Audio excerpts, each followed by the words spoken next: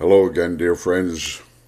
This is Pastor Roy Olsen, Bishop Pastor Roy Olsen, if that matters, talking to you about some of the most important things in the Christian life, which uh, is ultimately encompassed in the Apostle Paul's great uh, declaration uh, that he, he says, I live, nevertheless, I live, yet not I, but Christ liveth in me.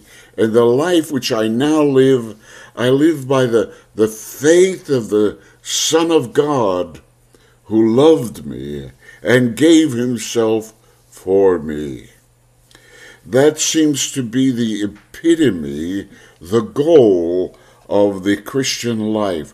What is the goal of the Christian life? Well, if you've ever asked yourself that question, you know that it's it's more than just uh, being saved from hell and receiving eternal life. That's the beginning of the Christian life.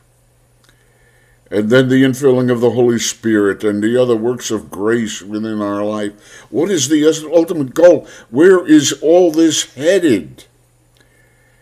And the Apostle Paul encompassed it all in that uh, I live, uh, nevertheless, not I, but Christ liveth in me.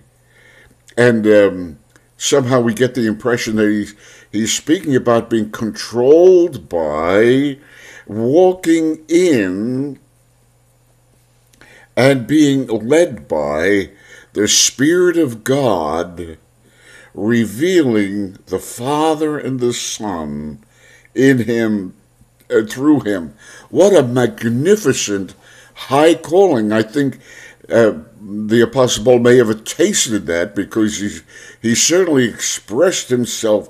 He said he kept, he was pressing, pressing towards the, the, the high mark of the calling in Christ Jesus.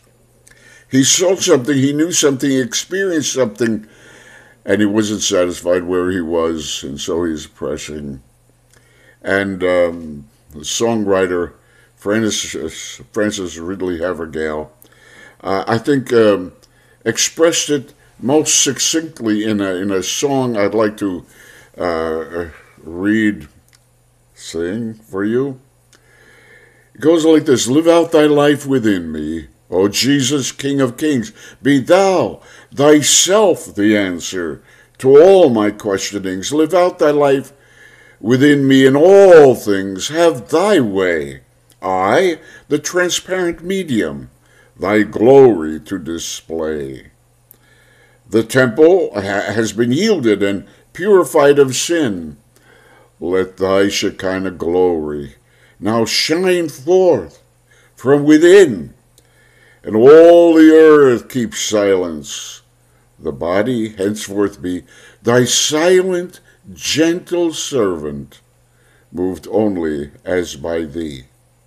Its members, every moment, held subject to thy call, ready to have thee use them or not be used at all, held without restless longing or strain or stress or fret or chafings at thy dealings, or thoughts of vain regret, but restful, calm, pliant, from bend and bias free, awaiting thy decision. When thou hast need of me, live out thy life within me, O Jesus, King of kings. And it concludes with this Be thou the glorious answer to all my questionings. And dear friend, that's my desire for myself and my desire and prayer for those to whom I minister and for you, dear friends who are listening to this. God bless you. This is your friend, Roy. I'll be back. Goodbye for now. Goodbye.